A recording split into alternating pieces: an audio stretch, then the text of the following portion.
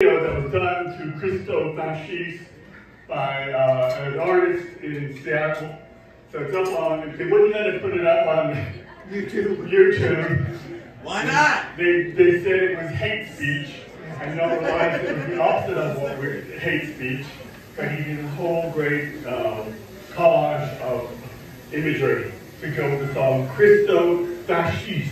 On Instagram, right? Yeah, yeah, on You just posted it right there, So right? it it is up there somewhere.